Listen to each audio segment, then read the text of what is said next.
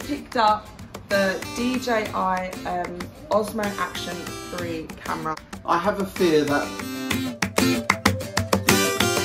I want to go for Boracay.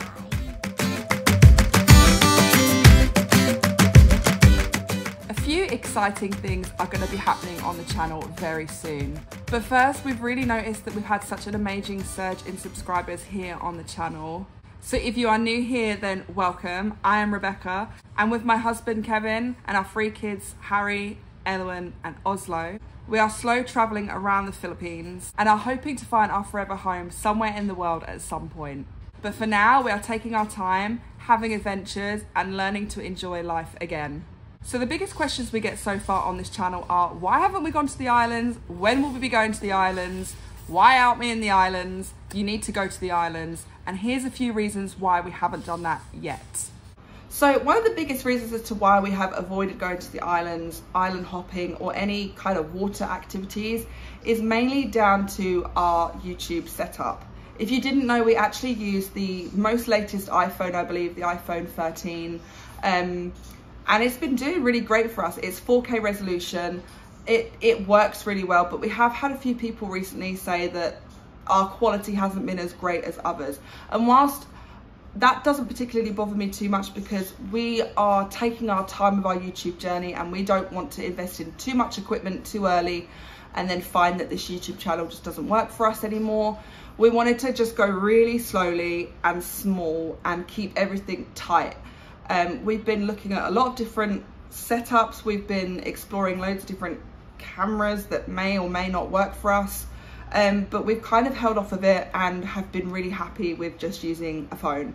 Um, we still would be happy using a phone, but a phone unfortunately would not allow us to do the islands, the island hopping or any of the underwater activities justice as much as something else would. So we have had to make a slight investment and it's not something that I understand is easy for most people and it wasn't really easy for us either.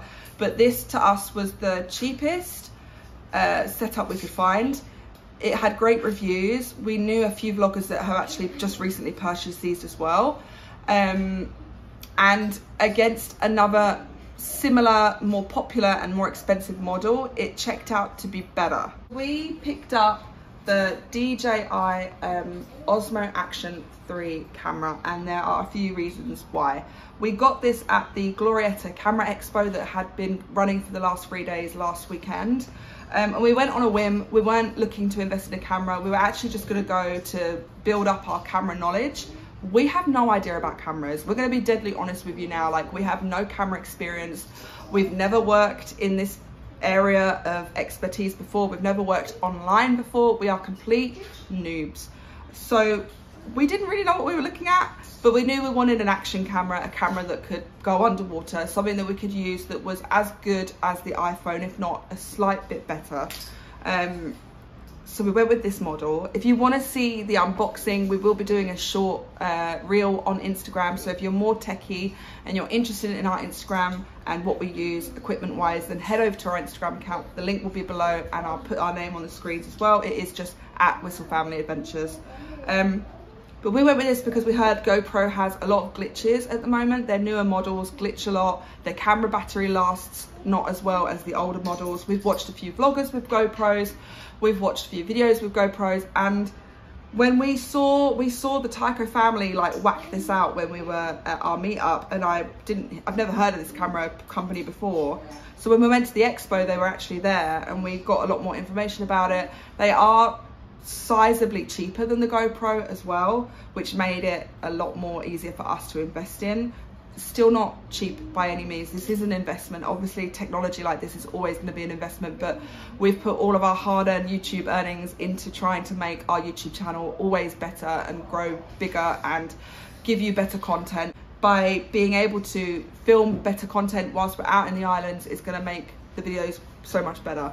I wouldn't want to take my phone on a boat or underwater, obviously, because it wouldn't work anymore. So that's why we had to go in this direction.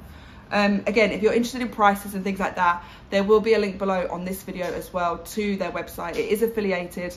Um, so if you're interested in that, obviously, if not, then by all means do your own research, as I always say. Uh, but if you're interested in a small action camera, not only to film those cooler videos, but in my opinion, it's been the most amazing thing being able to record every step of our journey here in the Philippines. If you have children or grandchildren or a large family, or even if it's just you and your partner, filming your experiences and putting those together and just keeping them on your computer or having them backed up for years and years and you've got them for life I wish I did this sooner. I really do. I think as a family, we've missed so many moments that I wish I caught, even just for us personally, long before YouTube. This isn't just a YouTube thing. I think cameras and taking videos and putting films together is is quite an amazing thing to be able to do in this day and age and it's definitely something that can hold all of those memories um, without putting down like any waste uh, it's just a brilliant thing to do so I would really encourage anybody out there that hasn't been thinking about filming or putting videos together or taking videos of your daily life or having family memories to look back at to start doing it now because it really makes a difference for us to be able to watch back everything that we do um, and I can only imagine how amazing that is the earlier you start. I do wish I started this so much earlier. But yes, we have made that investment and that is one of the reasons we've been holding off the islands and now we've finally got a better setup, we can definitely do them justice.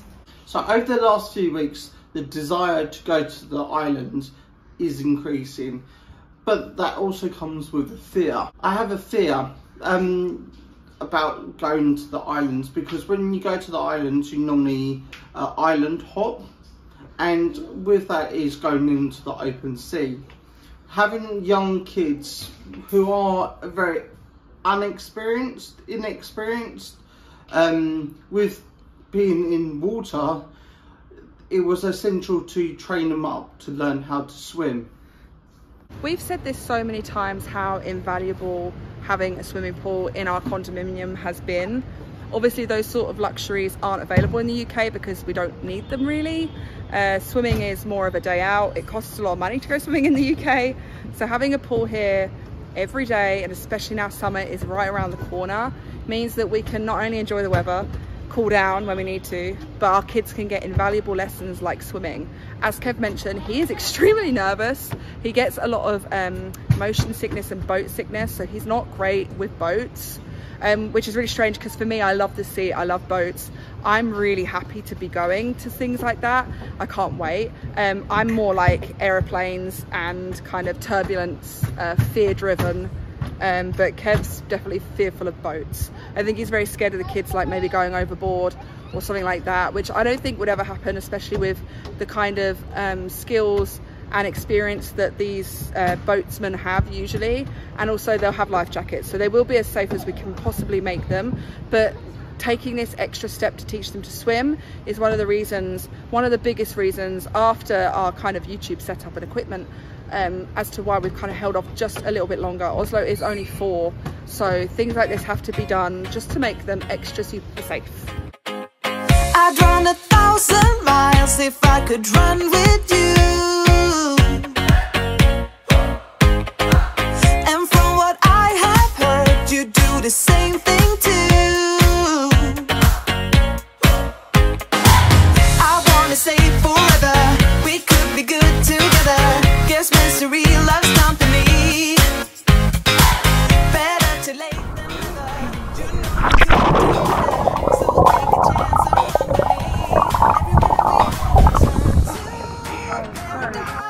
All I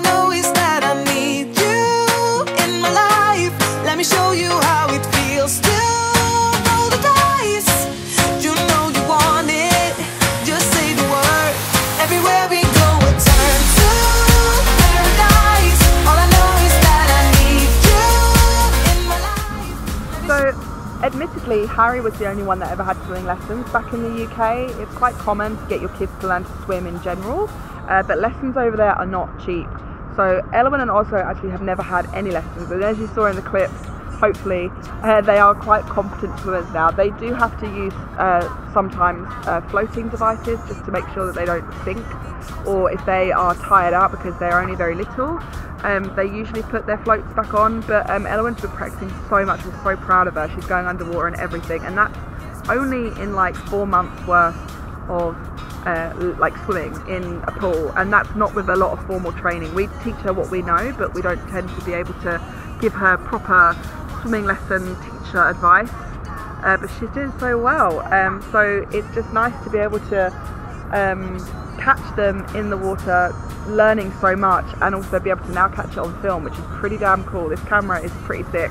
Um, it's really weird putting a camera in water as well. Just not going to get used to this. In my life, let me show you how it feels to aside from cameras and uh, getting the kids to swim and having all of these amazing resources to hand now, there is also one really big and kind of important thing that is one of the biggest reasons as to why we haven't gone to the islands just yet. Not many people like to talk about this, especially online, and I completely understand why. I myself don't like talking about it, but it is a big part of life. It is how we move around, it's how we live, and that is money. Um, money, we are okay for money as of now. We have had uh, a few of our savings come in recently, so we can really last a long time, but only if we're careful. We are always really careful on how much we eat in a week, um, what where we go in a week, and going to an island is a big chunk of our savings. Um, we also wanted to see how our YouTube earnings would do as well. Something again nobody really talks about, and I completely understand why. But those things really come into account when you're going to be planning a bigger trip to an island here in the Philippines. Traveling to the other islands is nowhere near as cheap as people think it is. Actually, from England to Europe is like completely different and it's so much cheaper if you went from England to France or to Spain or to Germany. But actually, booking commercial flights here in the Philippines is far more expensive. Not only that, but a lot of the resorts on the islands and the hotels that are where you're probably going to want to stay because otherwise you're going to have to have some sort of transportation like a scooter. Um, you have to kind of stay in those sorts of places as a family.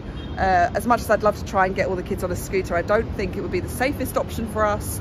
So we have to be in places where there's a lot going on there's a lot to do or on a beachfront at least so we've been really taking our time and taking care in where we put our money and how we spend it here in the Philippines.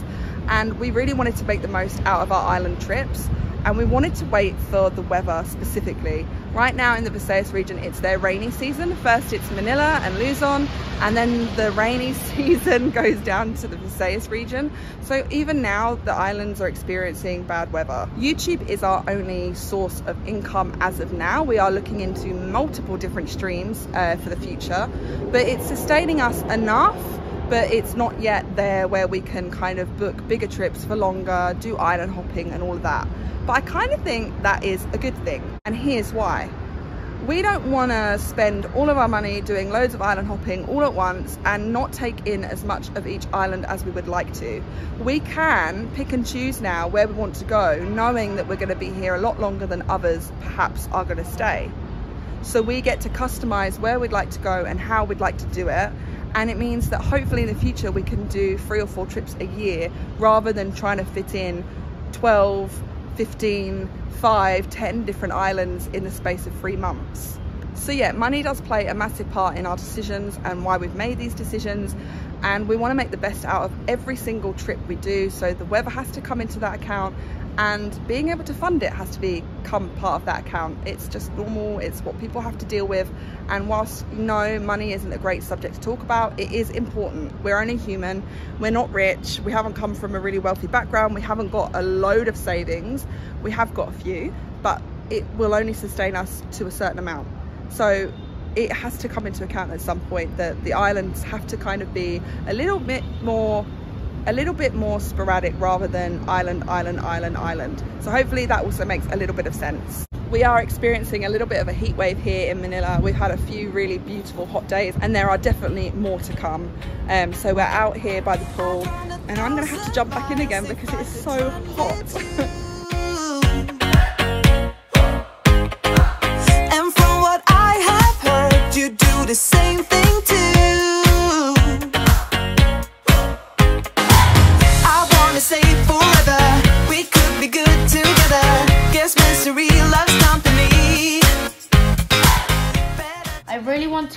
to go to Palawan because I really want to try the food and go to some nice beaches because I heard they're really good and the sand is white.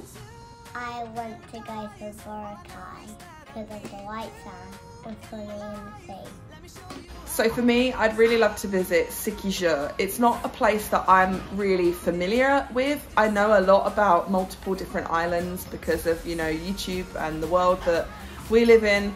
Um, but I don't know as much about Siquijor other than it is a very tropical destination and it is very, very beautiful. I want to go to Bacolod.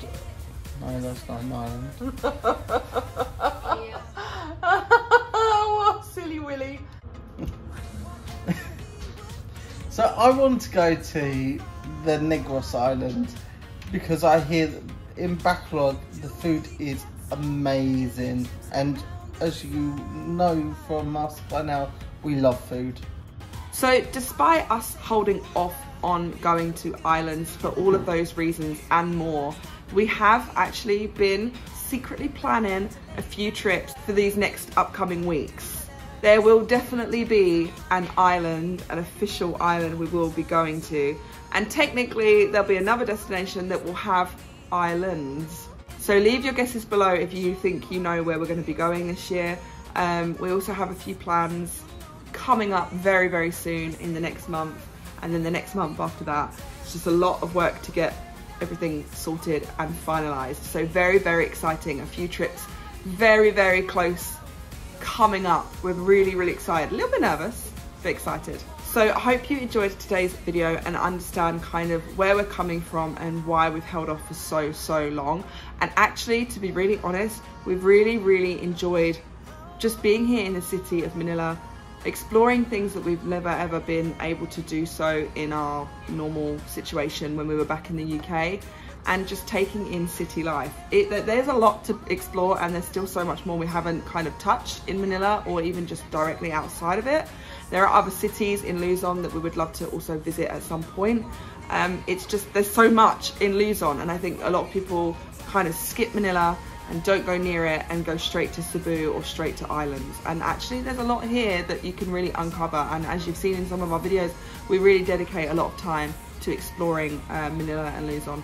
But apart from that, very exciting things coming up and we are yeah we're really excited and hope you are too. If you want to comment below also what your favorite island is and why we should visit. We really want to know a few islands that are popular and also a few that aren't so touched. So let us know below what your favorite island is as well. We'd love to know. And yeah thank you so much for watching guys. We'll see you in the next one. Salamat po safe for.